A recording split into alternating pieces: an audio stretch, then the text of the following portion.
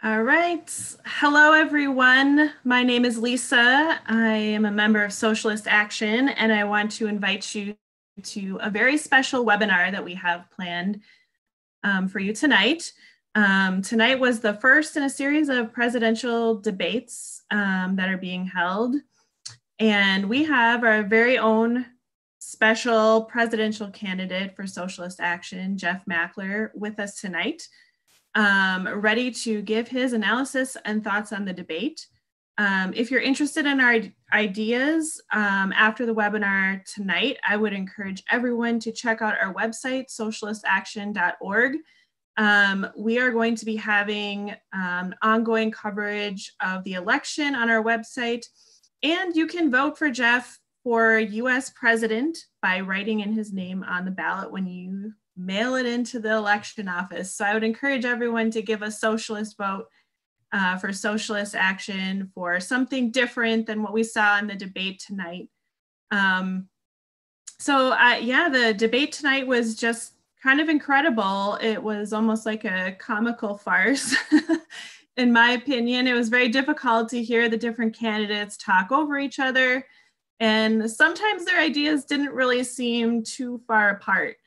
Um, Jeff, can you tell us what your overall take on the debate was tonight? Well, thanks, Lisa. Uh, glad to be with you here tonight.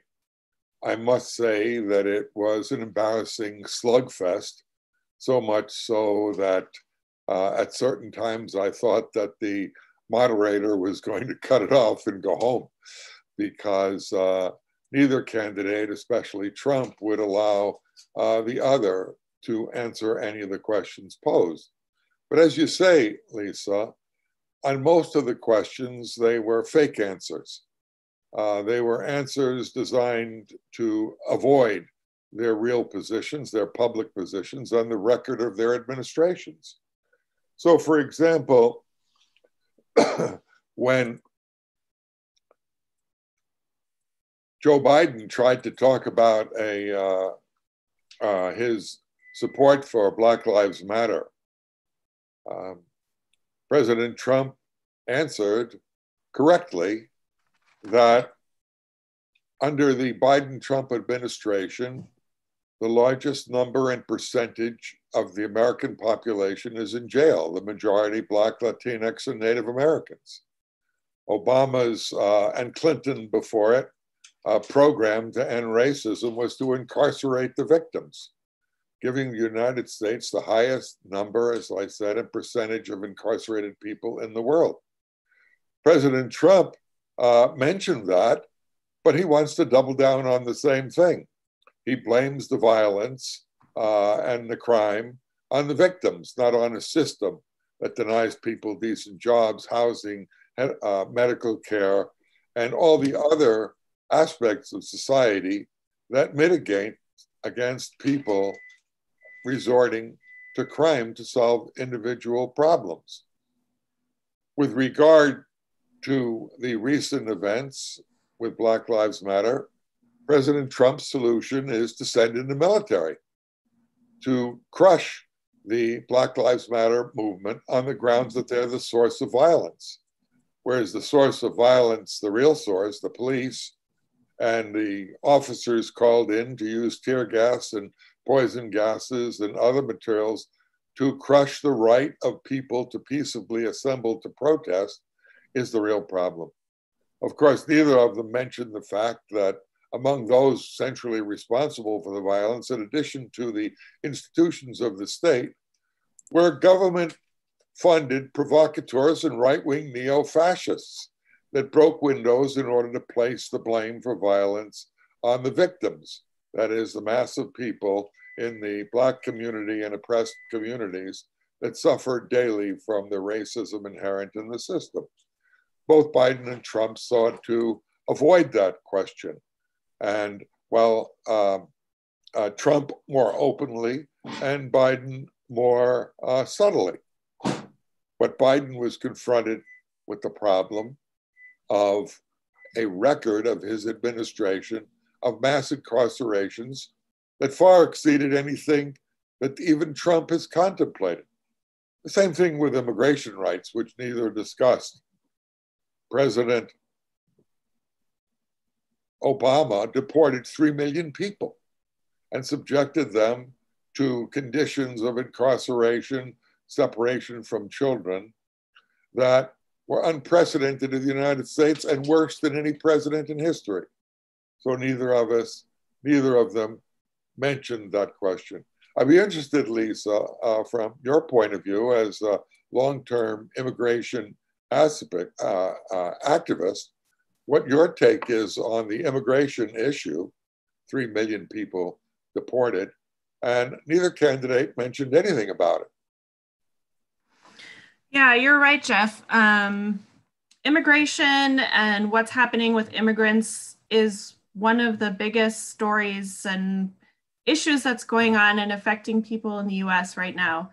You know, the US has been for, um, you know, since it was colonized and the native people here were murdered um, by Europeans, um, the US has been largely populated by immigrant populations. Um, immigrants often work in the lowest paid jobs.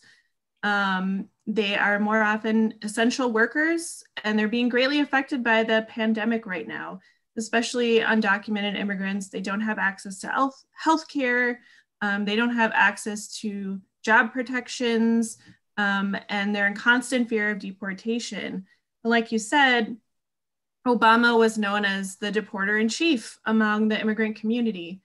Um, and Trump has continued that legacy. Um, he has continued to carry out uh, deportations and raids despite the pandemic that's going on.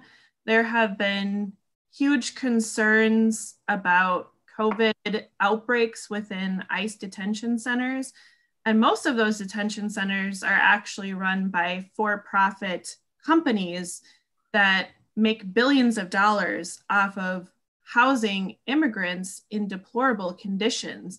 The US government could release those immigrants at any time, especially with the pandemic raging, um, because they're being held on civil charges, not criminal charges, but they've refused to do that. However, um, the immigrant issue and everything that Trump has done is not going to be solved um, by electing a Democrat or another wing of the ruling party to the presidential, um, to be the president. This is an issue that's, um, it's part of the capitalist economy, which depends on immigrant workers to work for low wages in places like meatpacking plants. So this is a, a serious issue, but it's not going to be solved by electing Biden um, to the presidency.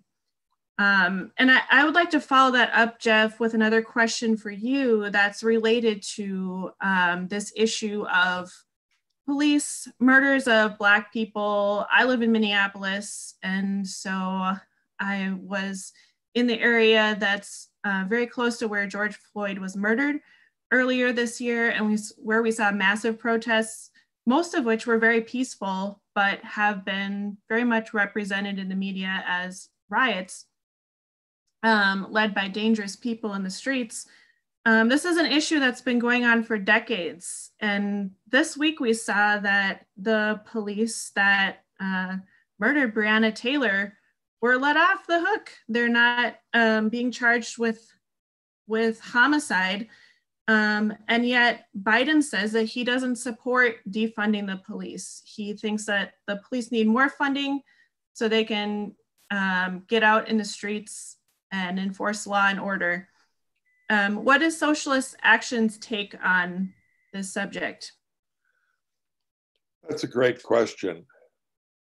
Uh, I note that during the debate, uh, President Trump criticized Biden for characterizing blacks as super predators and therefore justifying the laws that allowed for mass incarceration. Joe Biden didn't turn around and say, You characterize immigrants as rapists, as murderers. You want to build a multi billion dollar wall to keep them out. as opposed to understanding that the reason for immigration in the first place to the United States is because the policies of the United States government have effectively destroyed the economies of Mexico and Latin American countries, where people are forced, if they have jobs at all, to work in the informal, settle, informal sector or for wages that are qualitatively less than the United States. So naturally, they seek to escape the poverty inflicted by the great imperial powers. So there's no difference between them. I noticed that Joe Biden had to say that his problem was with just a few, quote, bad apples. Our problem is with the state sponsored police, the central repressive force to defend private property, the police who are called on to break up peaceful demonstrations, to arrest innocent predators, uh, uh, protesters in mass, who break strikes, who herd scabs through union picket lines, who enforce basically capitalist law. Breonna Taylor is just one example. The, we used to say that the Breonna Taylor attacks against unarmed innocent blacks took place on an average of one a day. Today, that figure is a thousand a year, almost triple that number. And the 99.9% of these police attacks on unarmed, peaceful blacks go unpunished. The cops are set free. The cops are essentially the prime supporters of both Trump and Biden. And Biden doesn't want to lose their support.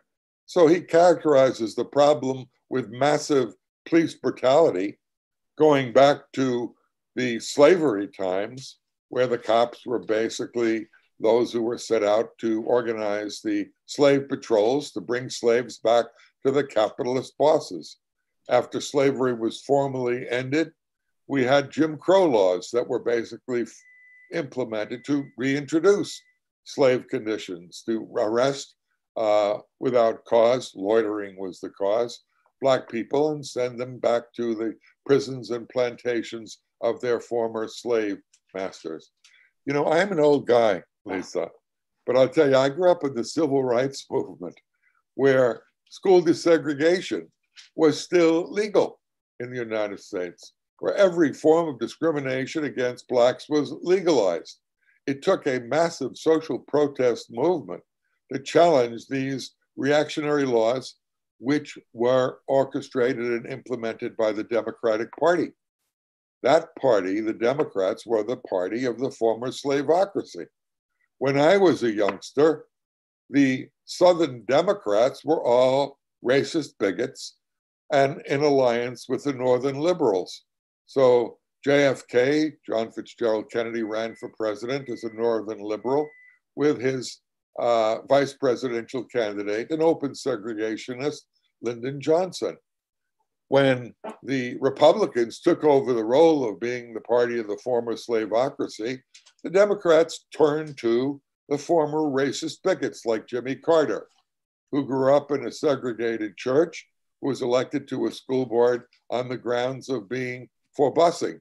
That is to bus white kids past black schools so they didn't have to attend desegregated schools. The same with Al Gore, whose father was an open racist bigot. And the same with um, Bill Clinton, who came from an openly racist state and was put forward in the presidency in order to assuage the concerns of Southerners that it was safe to vote for a Democrat. So racism is inherent in the system, and both parties support it because it's profitable for capitalism. Why? They say, uh, they can say to a white man, white boy, if you don't take a wage cut, we'll get a black person to take the job for less.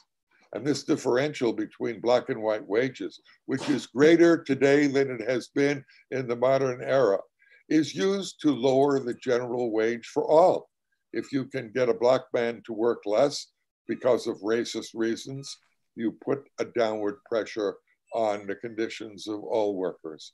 As nothing in this racist system that benefits whites other than the hate generated by both parties against Black people who they scapegoat, who they scapegoat like immigrants or even women. Women are going to take our jobs.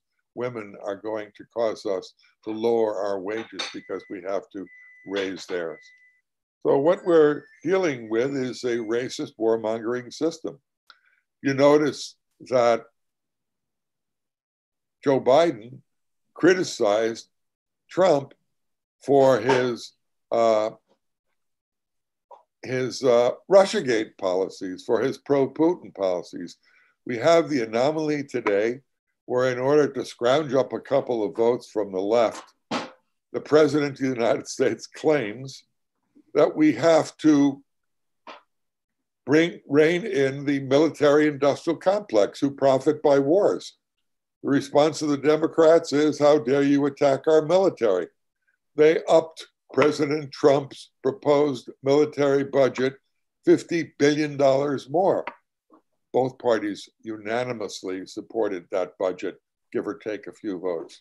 And then you have Joe Biden throwing in a cheap shot saying that President Trump paid virtually no taxes for the past 10 or 15 years and $750 when he came into office.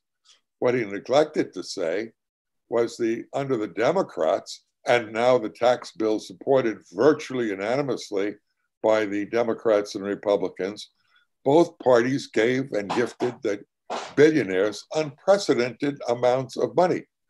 They passed legislation, for example, uh, saying that Apple Computer, which had offshored $250 billion in profits, could repatriate the money provided there were no taxes on them. And corporations like Apple have doubled their value because of the various provisions of the tax codes. What neither of them say is that both parties are complicit in having their representatives write the tax codes that benefit in an unprecedented way the ruling rich. The United States has the largest discrepancy between rich and poor. In fact, one statistic that is shocking is that some dozen or less American billionaires earn more of the new value achieved by workers than 50% of the entire working class. Six or eight people earn more than half of the working class today. Neither of these parties, both the parties of capital, warmongering, racism, climate catastrophe, had anything to say. It was a fake free for all, denunciatory debate where every major issue was covered up. Yeah, I, I definitely agree with that. Um, and, uh, you know, uh, Biden even made um, a comment about how much wealth the billionaires uh, have gained during COVID 19 and because of COVID 19. Um, while at the same time, we know that women and people of color and immigrants and minorities are suffering more than ever under the current pandemic. It's very hypocritical because, um, you know, these two white men that are, you know, battling for the presidency and they're claiming to represent the American people, they come from that same ruling class. They don't really represent the interests of regular people who are working and trying to get by and struggling when people are being evicted from their homes and they don't have access to health care um, and they're dying in unprecedented numbers because of the pandemic that we're living through. um, I guess I wanted to kind of go back to a question um, that came up at the uh, beginning of the debate.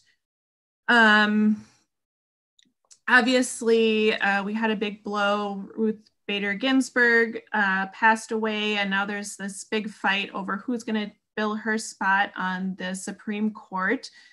Um, it was brought up that um, many issues that affect women, um, such as Roe v. Wade, um, or access to health care, access to abortions, reproductive rights are under attack right now. Um, and the Supreme Court decisions could have bearings on that. Um, and it was also brought up that, um, you know, arguing over who's going to end Obamacare, about the access to private insurance for people. Um, you know, I, would like to know a little bit about your take on the whole uh, question around health insurance and access to health care. What does Socialist Action believe is a solution um, to this, this huge crisis that we're facing? Well, in truth, the United States is perhaps the only industrialized country in the world doesn't have free health care for everyone. All the other countries weren't gifted it by the ruling class. Workers fought for it, they struck for it, they challenged the government's legitimacy for it. And in the post World War II period, they won free health care. That's because most of the capitalist governments of Europe were either dominated by the fascists on one side or pro fascist governments like the Italians and the French that collaborated with Hitler. And at the end of the war, angry workers who rejected these policies forced in massive mobilizations and strike waves, unprecedented then, to force the government to make concessions. In the United States, which emerged victorious in World War II, we had a temporary upsurge in worker militancy, but the domination of the United States that came out of the war allowed the ruling class to make some concessions. So today, we have no free health care. We have Obamacare that bases itself essentially on the profit making, unprecedented highest profit rates in the country medical, privately owned medical industry and its associated pharmaceutical corporations. The idea that the Obama administration would challenge the right of profit, would even accept a minimal reform like Bernie Sanders eliminating the insurance companies and paying directly, which would have saved billions of dollars to cover health care. Even that reform is unacceptable, not only to Trump, but to the Democrats. So Obamacare is basically a band-aid coverage that allows profit gouging, privately owned insurance companies, medical organizations, pharmaceutical corporations to extract additional billions of dollars from working people when healthcare should be a basic human right. To be free from racism should be a basic human right for women to have equal jobs as opposed to getting paid 73 cents for every dollar that men make, make should be a basic right. Even with regard to COVID, women are disproportionately affected. They have the majority of the jobs in the lowest paying industries. They are largely responsible in the absence of childcare provisions, free childcare, for the maintenance of childcare and therefore can't return to work to start with because of these obligations. So, in summary, we live in a racist, sexist, homophobic society, a bipartisan project that Democrats and Republicans are in business to maintain, with Biden number one in the Democratic Party. Uh, he emerged from the primaries when he received the push over the hill, over the top, from the billionaires who entered the race basically on his behalf. Let me say this on the Democrats. If I were to ask you, Lisa, how many billionaires are signed on for Biden, I bet you wouldn't have any idea in comparison to Trump. But the statistics that are out now say that Joe Biden only has 131 billionaires on his side, whereas Donald Trump has a pathetic 93 billionaires. I might say that I don't have any billionaires on my side. In fact, when I tried to get on the ballot in California uh, a number of years ago, asking that I be listed as Jeff Mackler, Socialist Action, they said I couldn't list the name of my party. All the Democrats and Republicans could list their parties. So I went to court, and a compliant Republican or Democratic judge fined me and a few others $240,000 in legal fees for asking for the right to be on the ballot with my party. Those kind of restrictive ballot laws are the norm in the United States. In truth, we have an election between multi billionaires, with each side bragging now, the Democrats bragging that they're raising more money than Trump. But let me turn to a critical question. I'd like to hear your commentary. The election is about 35 days away.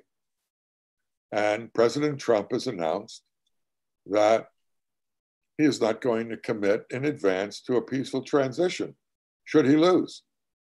On the basis, he says, that mail in ballots, which are between 40 and 60 million people, are illegitimate, are illegal, are fake, are contrived, even though he himself votes by, has voted by mail in.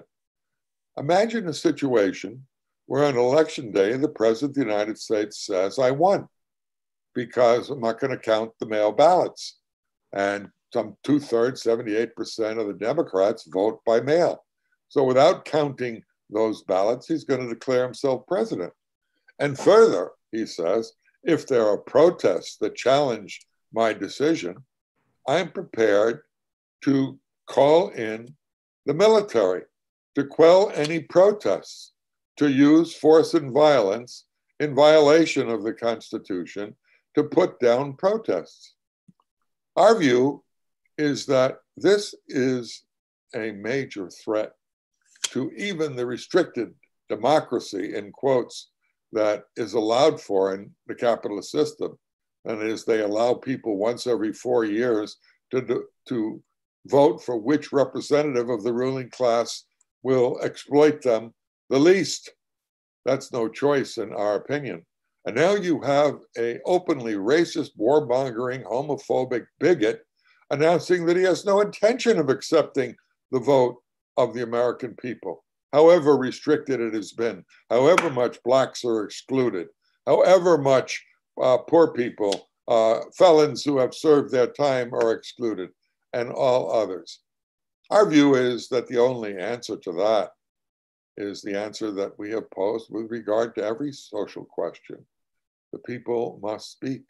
And I fully expect that if Trump tries to steal this election, which I think he has an intention to do, the only solution is the unprecedented massive mobilization of the American people in numbers even that put to that that put to the that that are far greater than the 15 to 26 million people that mobilized to defend, uh, to oppose systemic racism in the United States, which is now accepted by virtually everybody. A CNN poll showed that 84% of the American people supported those mass mobilizations. In my opinion, should Trump declare himself president and ignore the laws of the land and the vote and call in the military, we will have a crisis in the United States in the next month or few days that pales before anything we've seen before. We want to be part of those mobilizations. We want them to be independent, united front mass actions of the American people. We want the trade unions to be in the forefront of them, the oppressed Black and uh, Latino communities, be the central leadership of them. And we want them to stay in the streets until this reactionary would be dictator backs off. That's not to say in any way that we support Biden. We support the right of the American people to choose. We are not for the abolition of capitalist elections at this point. And finally, on the Supreme Court, you asked a very important question. The sheer idea that nine people determine the fundamental laws of the United States is absurd. The abolition of the Supreme Court is our view. We don't think nine people who all represent and are appointed by the richest people on earth should decide anything. In fact, the history of the Supreme Court is to preside over every reactionary policy of virtually every government there is. It was the Supreme Court that codified separate but equal. It was the Supreme Court that justified segregated education. It was the Supreme Court that codified corporate wealth that re, that whittled away piece by piece at the Roe v. Wade. Today, Roe v. Wade is hanging by a thread. The Hyde Amendment restricts any federal funding for women for abortion. And virtually a majority of the states, correct me if I'm wrong, have le- legislation that in one form or another restricts the right of women to control their own bodies. Not to mention the fact that in virtually every state, a majority, if not more states, there is perhaps one abortion providing facility in the entire state. And it's illegal for women to go to another state to get an abortion. And this has been the bipartisan policy of Democrats and Republicans. And in fact, if you looked at the Democratic Party convention, they featured politicians like the ex governor from whatever it was, Kasich, who was an open opponent of abortion rights, who put in an ad in the New York Times of hundreds of elected Democrats who oppose or want to restrict abortion rights. This was the spectacle of the Democratic Party. They wanted to show that racist bigots, segregationists, abortion opponents, and warmongers are welcome to the Democratic Party, giving us the proposition that we have to stop Trump, that Trump is a fascist. That's what they told me as a youngster. We had to support LBJ, Lyndon Baines Johnson, a Texas segregationist, because he was better than the fascist Barry Goldwater. We had to support this candidate to keep the fascist Richard Nixon uh, witch hunter out of office. In fact, I haven't seen a single election where the Democrats and their unfortunate supporters on the left haven't made the argument that the Republican is always a fascist. Let's vote for the lesser evil. The lesser evil is capitalism. The greater evil is capitalism both wings of that party. That's why I'm running for president. That's why I ask you to join us. Contact us. Contact us by emailing Socialist Action at lmi.net, lmi.net, or our website, socialistaction.org. If you want to change the world, we have to win the hearts and minds of the American people, not elect yet another evil. And in this case, there's barely a difference between which one is lesser. Very well spoken, Jeff. And I agree that definitely if Trump attempts to um, steal the election results, it will be essentially a coup. And I think we're going to see millions of people pouring into the street. Um, we've already seen the potential of the the anger and the frustration that people are feeling right now in the midst of the worst pandemic and racial violence and killings. Um, so I see I see a big potential in that, and I think we have to become involved in those movements, like you said, to support um, the Democrat the democratic right of people to choose. Um, I'm going to go briefly, Jeff, to a question from someone in our audience. Um, and I would encourage people, um, if you have questions, to please post them in the comments and we'll try to get to some of those questions if we can. Um, and the question is, uh, what is Socialist Action's stance on Puerto Rico and also what about indigenous nations? Are for the independence of Puerto Rico. We've always been that way. We've supported that within the framework of Puerto Rico and the United States. Puerto Rico amounts to a US colony. And this was exposed in bold relief when the terrible effects of global warming hit the island of Puerto Rico and destroyed much of its infrastructure.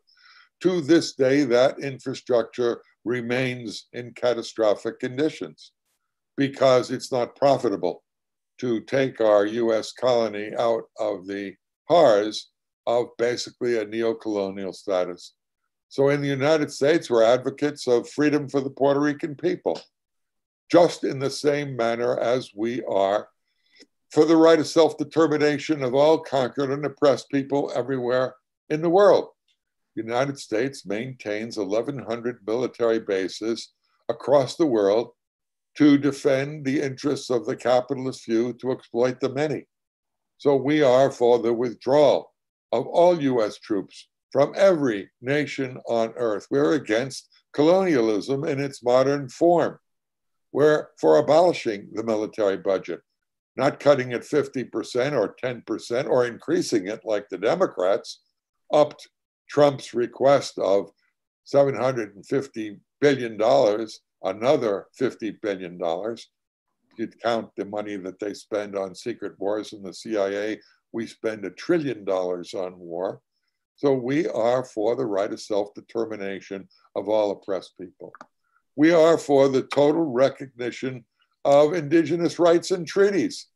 These treaties, as poor as they are, were won by struggling Native American people who were annihilated by the original occupiers in numbers in the millions and today are reduced to among the poorest people on earth.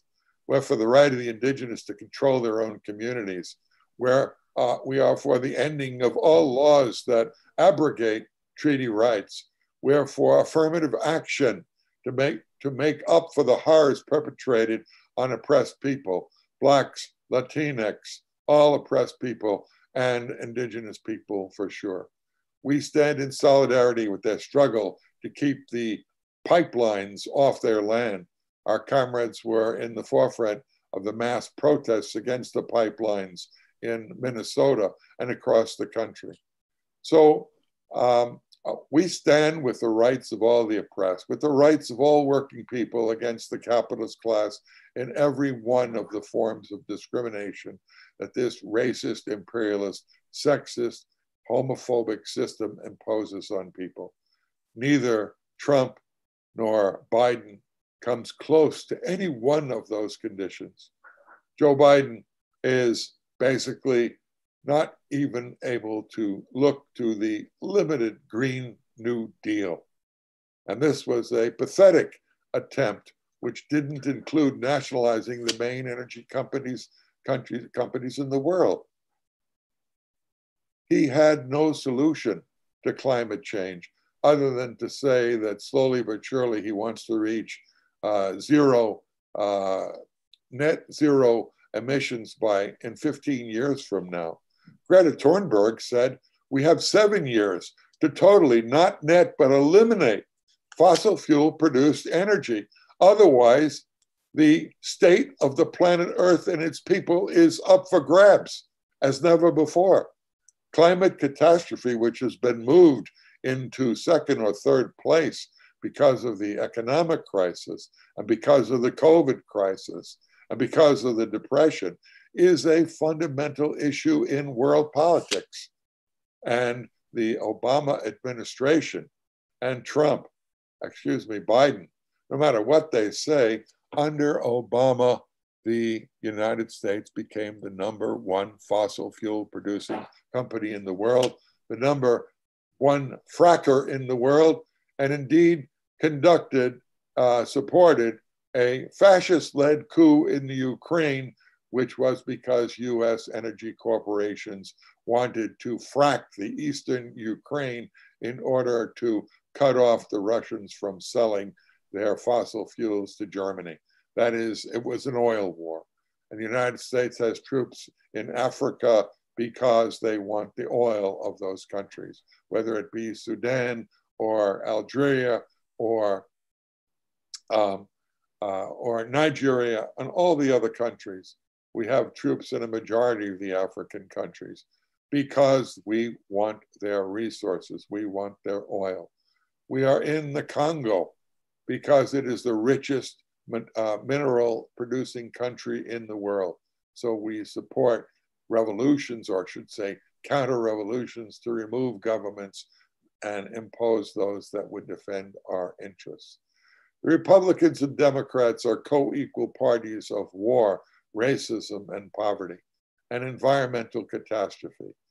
Joe Biden learned to say that he is uh, for an improvement on this question in 15 years or 20 years or 30 years when it's too late. In truth, in truth is unless we build a mass independent movement that challenges the right of oil companies to pollute, we are lost. Joe uh, Donald Trump appointed as his Secretary of State. What was his name? The head of Exxon Mobil, um, uh, Rex Tillerson, as his Secretary of State in order to preside over US oil interests in the Middle East, to continue to exploit Iraq's oil, to try to exploit Iran's oil, to steal Syria's oil, all of which countries were, uh, uh, were set upon by US imperialists to control the oil wealth of those countries. But Trump fired his ExxonMobil chief, Rex Tillerson. Why? Because in a private Security Council, National Security Council meeting, where Tillerson, as Secretary of State, was present, President Trump proposed to increase 100 fold the number of nuclear weapons in the United States arsenal, tactical nuclear weapons. He left the room and Tillerson said, the guy is a effing moron, which is true. Just as his Space Force program to militarize outer space, to set missiles and institutions in outer space to fire down on enemies or perceived enemies of the United States, um, uh, is the uh, bipartisan policies. The Democrats voted for the Space Force. They voted for the military budget. Uh, budget. They supported the US backed fascist coup in the Ukraine that was led by openly fascist parties in the United States. And they still do today. They support the imperialist intervention in the Middle East to control the oil and wealth of those countries and subject those poor and oppressed nations, regardless of whether they're led by uh, capitalist leaders or dictators. We support the demand to bring the troops home now and self determination of oppressed people. We have no confidence that US imperialism is going to solve the problems of the oppressed in the United States or anywhere else in the world. Jeff, let's move. Um, maybe we can take a few minutes to answer another question from the audience um, that's related to the discussion on climate change. Um, you talked a little bit about um, the different candidates and what they said about climate change and what their actions have been on that subject. Um, what the question is getting to the point of um, what would indigenous people do about climate change? What would sa do about climate change? What is our proposal for this momentous question crisis that we're faced with right now which is which right now is um, you know really being um, um, shown to everyone through the fires that are just raging uh, in california? Well the indigenous people in the midwest and the Northwest set the example for the people of the United States by going into streets and massive protests to prevent the United States government to set up pipelines from Canada to the United States to transport more deadly fossil fuels. The result was they awakened the consciousness of the American people and they forced the government to back off on most of the pipelines mostly because the United States already had a crisis of overproduction of fossil fuels. But they set the example, and that example is mass action. Every single progressive victory of the American working class has come from the actions of the people defying the policies of their capitalist governments. The right to organize a union was not gifted to anyone by the administration. It was won in the streets. It was won by closing down the factories of this country. It was won by organizing a broad labor movement that was open to everyone, that excluded the prejudice of the AFL against accepting blacks inside the unions. Our middle name is the United Front, and that is the unity of the oppressed in massive democratic organizations that seek to organize the power of the American people to fundamentally change. We had a demonstration of 400,000 people in New York several years ago on the question of climate change, initiated by 350. It was a successful demonstration. We organized 10,000 at the same time in the Bay Area on the question of climate change. But the tragedy was that the leadership of this massive mobilization was the Democratic Party. All of the speakers on the, pre- the demonstration on the prelude to uh, the Paris uh, meeting, the COP 24 uh, uh, agreements, all of it was predicated on the idea idea that if you elect the Democrats, you solve the problem. But we elected the Democrats, and they began to extend fracking rights, offshore drilling rights, Arctic drilling rights to the same corporations that are responsible. And that is, it's a political question. The future of the planet is in the hands of the people, and to the very extent that we cede that responsibility to the capitalist party who profit by fossil fuel, by war, by uh, imperialist intervention, we have lost the battle. I noticed that President Trump is big on forest management as the West burns. In fact, the comrade who is engineering this uh, webinar with Lisa and I had to be had to move from his house in Santa Rosa because the flames of destruction were so close. For Californians, it's a daily uh, uh, experience. I live in Oakland, California. We couldn't go outside. We couldn't open the windows of our house because the air we breathed was noxious, caused us to choke by taking a deep breath in the outdoors. These fires are not accidents. They are direct product of the fact that climate crisis has increased the temperature of the planet Earth, have dried out the, the, uh, the forests, have created the very conditions, not only for forest fires, but for destructive hurricanes like the one that destroyed Puerto Rico, the one that causes the ones that cause major flooding, the ones that threaten tens of millions of people in coastal cities across the world, the ones that have produced unlivable temperatures of 140 degrees.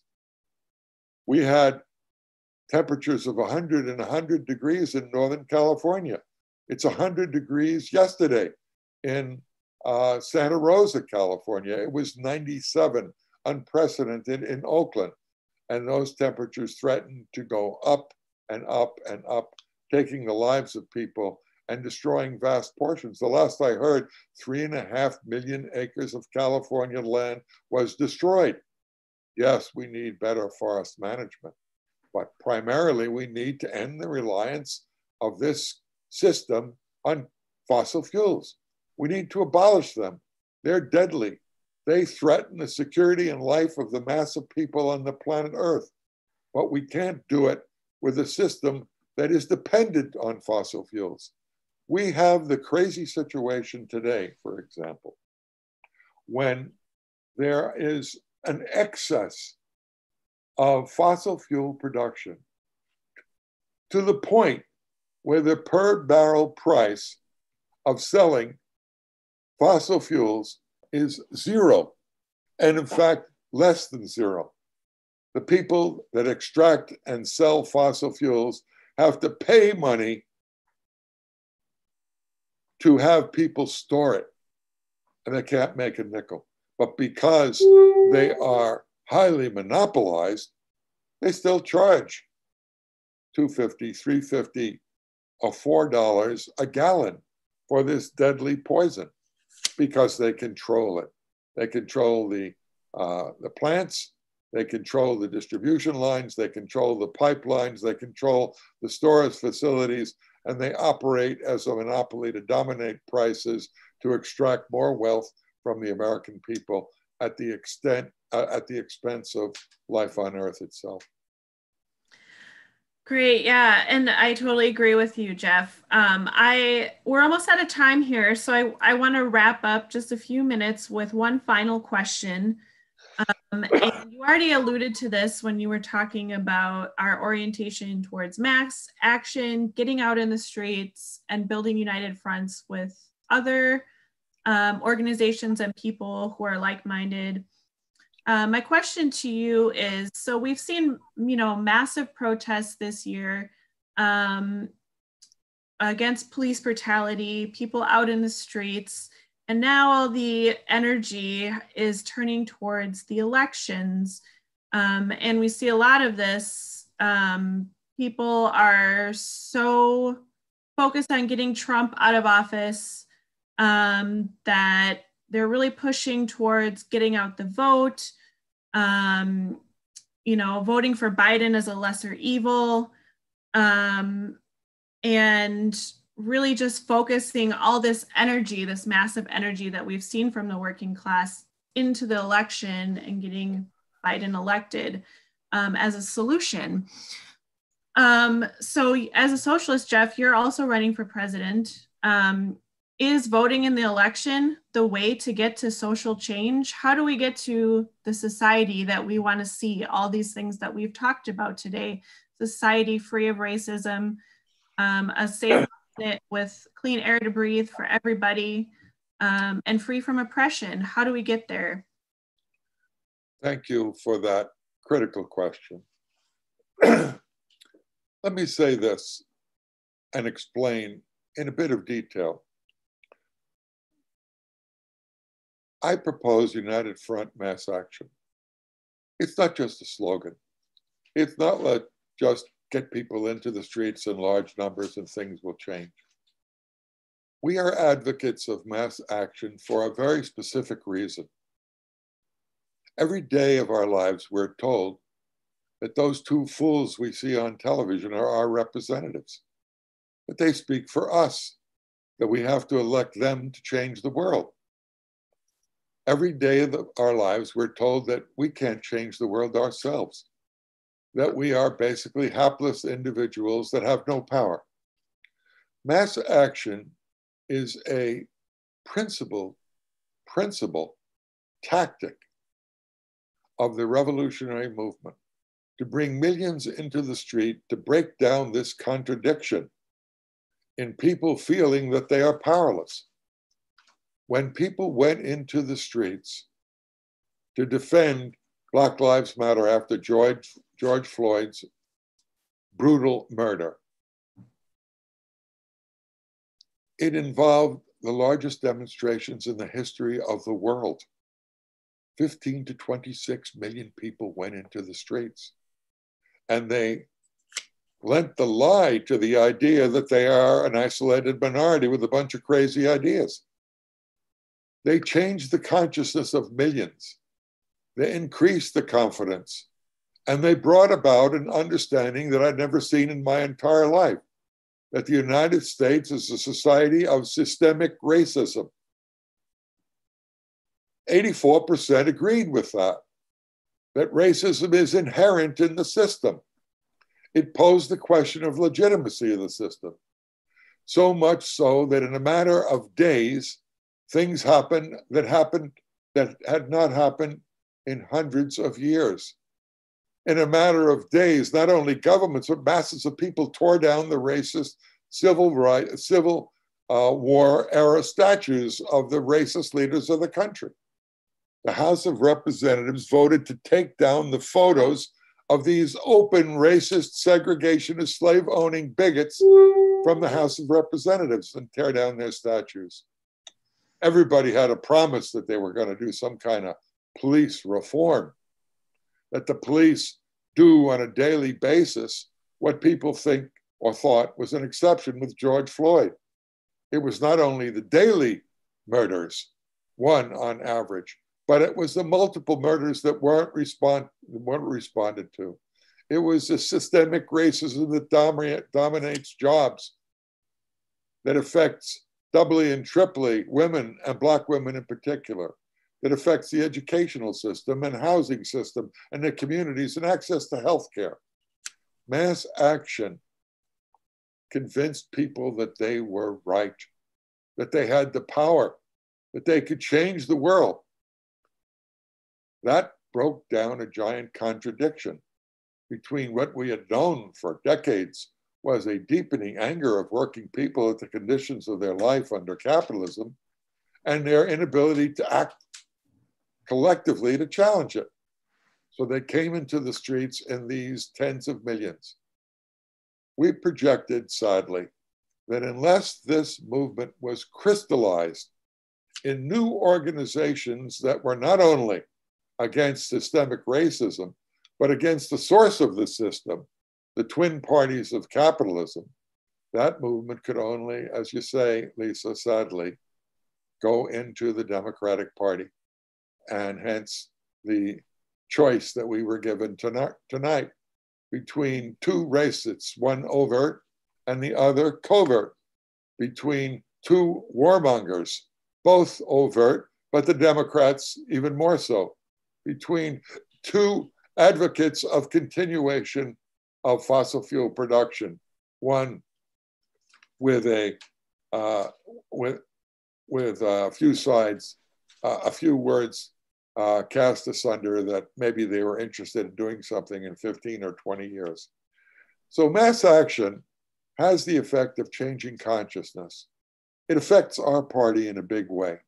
It allows us to grow from a relatively small party to a mass party of working people with a program that is based on the simple proposition that the working class should rule in their own name, that the majority should rule with their own institutions, that workers need their own party, a mass working class party, a labor party, a fighting labor party that welcomes and champions the positions, the fights, the struggles of the oppressed, of women, of LGBT people. So, in other words, I'm running this election campaign to build our party and at the same time to simultaneously build every social movement. Let me say unequivocally that there is no party in the United States that beats our record. We are central leaders of the US movement against the wars everywhere. We are founders and leaders of the United National Anti War Coalition, UNAC, which is a united front mass action coalition that has mobilized hundreds of thousands and that has thousands of endorsers we initiated the Northern California climate mobilization with activists in 350 and every conceivable environmental, social justice, and anti war organization. United Front is our middle name.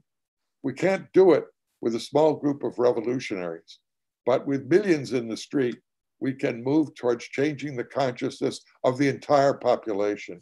That means building our revolutionary party to a mass party of the working class, a party with our comrades deeply embedded and helping to lead side by side with every social justice fighter, every struggle that challenges capitalist prerogatives.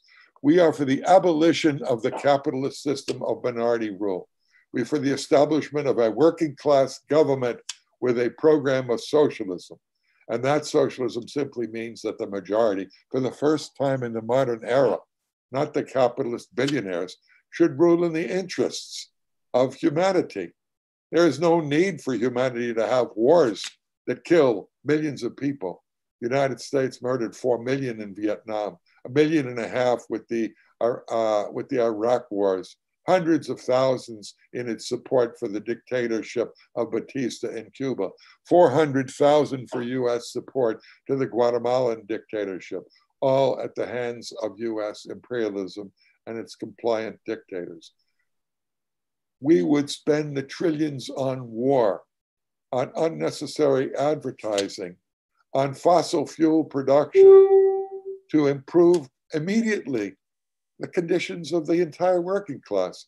We could provide free health care for everyone at no cost, free dental care, child care.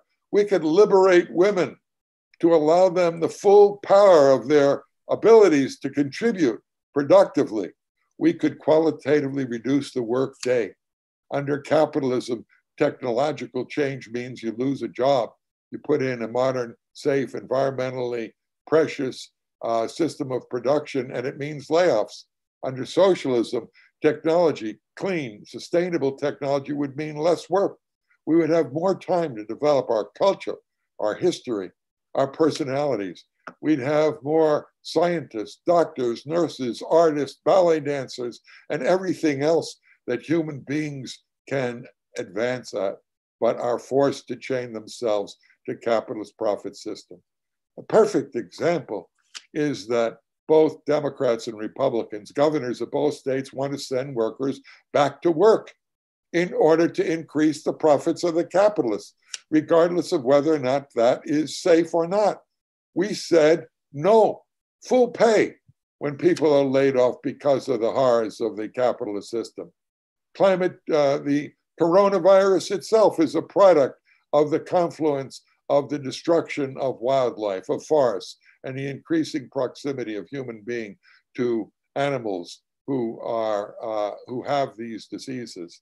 That is, it's not an accident. This pandemic has a scientific reason that is directly associated with the destruction of our environment, with the destruction of our forests.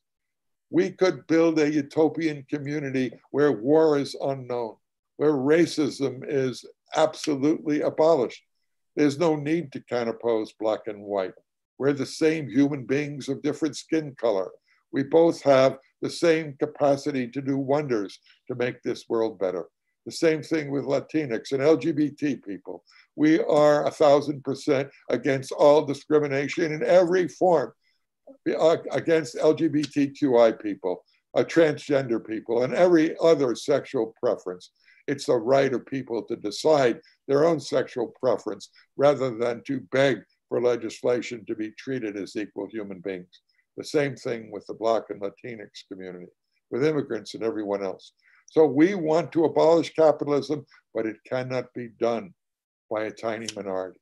It cannot be done by small scale individual acts of civil disobedience or direct action. We need to win over the hearts and minds of millions. That's what Black Lives Matter taught us. That's what's going to happen if these bastards try to steal the election and impose Trump as a dictator. Join us. Join our party. We're an honest, open, democratic, inclusive, revolutionary party that sets ourselves the objective of abolishing this rotten capitalist system. You can join, call us up at socialistaction.org. Uh, Email us, socialistaction at lmi.net. Our phone numbers are on our website. Check us out, read our webinars, come to our meetings, join us. Well, thank you, Jeff, for that inspiring close to our evening.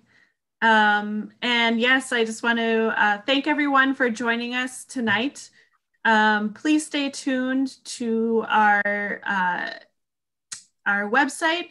And uh, if you're not on our email list yet, please join it because we're going to be having more of these webinars. We're going to be having more analysis of what's going on with the election. Um, and we want to share that with you. We want to hear what you think and we want to talk to you so vote socialist this November. Don't give your vote to the capitalists, the two ruling class capitalist parties. We hope to talk to you all soon and check out our great newspaper, um, which is also available on our website in PDF form, or you can su subscribe to it as well and get it in the mail. Socialist Action newspaper comes out once a month, and we have the best analysis of everything that's going on in the world um, from a socialist point of view. So thanks everyone for joining us again. Thank you, Jeff, for sharing uh, with us tonight. And we hope to talk to you all soon. Have a great evening. Thank you, Lisa, very much. And thank you all for tuning in. We had a great audience tonight. Jeff,